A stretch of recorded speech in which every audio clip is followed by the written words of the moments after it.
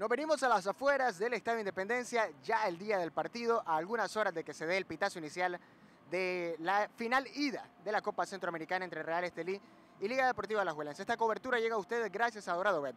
Dorado Bet en el cierre del 2023 te trae un aguinaldazo en premios, hasta 3 mil dólares en premios con la mejor casa de apuestas del país y casino online. Esto aplica para los nuevos registros y también para viejos usuarios que hagan depósitos de 5 dólares. Ya saben, el sorteo arrancó el 26 de noviembre y finalizará el 25 de diciembre. Aplica restricciones.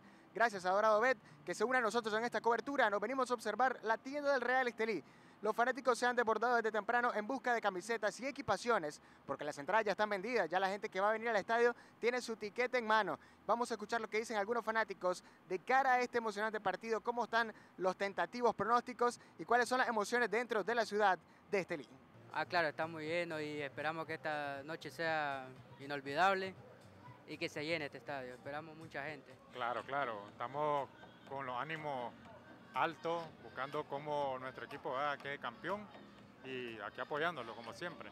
Comprando una camiseta, todo el mundo se ha desbordado por venir a conseguir, aunque sea una equipación, los precios accesibles para, para las camisetas indumentarias del equipo. Sí, sí, tan accesibles, fíjate.